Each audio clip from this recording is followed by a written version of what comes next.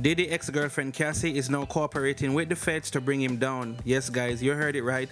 Cassie is now cooperating with the feds and basically I guess she's trying to bring Diddy down or she's gonna help to bring him down.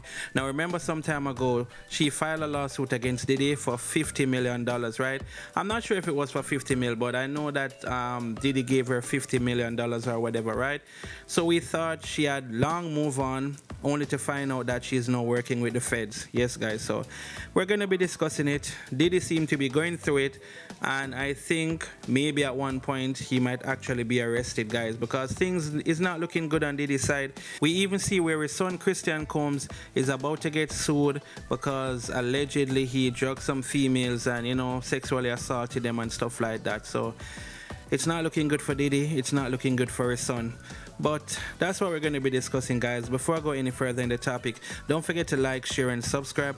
Also, make sure y'all turn the notification bell, put it on all. That way you can get notified whenever I post a new video. Alright, guys, so the story is coming from TMZ, so I definitely got to give them some credit. And let's just get right to the story. So it says Cassie is cooperating with the feds in probe, others talking as well.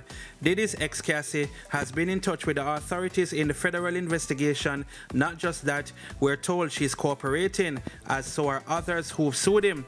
Sources with direct knowledge tells us Cassie is among the witnesses the feds have been in contact with in connection with the Diddy investigation.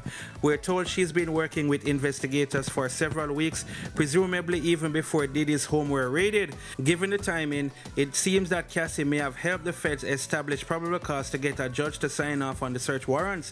Other women, we're told, have also been in contact with federal investigations. We don't know what Cassie has told the feds, but presumably it mirrors the lawsuit she filed against Diddy, in which she alleged he forced her to have sex with multiple male prostitutes, he beat her, and he gave her drugs and alcohol over the course of their relationship. She also alleged he engaged in sex trafficking. Diddy denied her claims, but settled a day later later she filed her lawsuit.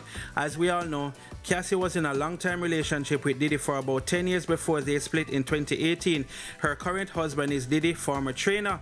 Unclear at this point which of the other women have also been cooperating with the feds. We also don't know if Diddy's ex-employee Rodney Jones has been interviewed at this point. Diddy has called the allegations against him and the raid a witch hunt. For now, he hasn't been arrested or charged with a crime.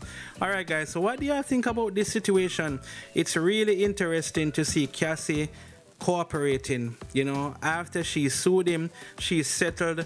What Diddy should have done is ensure that she signed something where she can't speak. But I guess if he had done that, um, you know, it, it would probably make him look guilty. You get what I'm saying? And maybe she's just making up stuff because they maybe ended on a bad note or whatever it may be, right, guys? So you know, let's just watch and see how this plays out. But at the end of the day, if Diddy is in fact guilty of the stuff that he's being accused of, then of course he should pay the price, right? Because if you're into trafficking, if you're into like, you know, drugging persons and doing a whole bunch of stuff, then obviously you should definitely pay the price, right? It's definitely wrong on all levels. So I'm not here defending Diddy.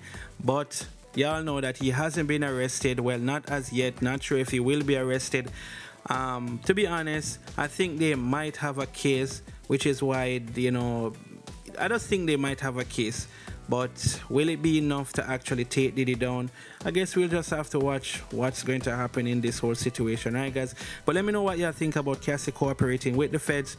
Do y'all think that she's a traitor because she's settled and then now she's cooperating? Or do you think that she's doing the right thing if in fact what she's telling them is true. But i guess we'll have to wait and see. Anyway guys thank you all for watching the video. Don't forget to like share and subscribe. And i will see you all in the next video. Stay safe. Peace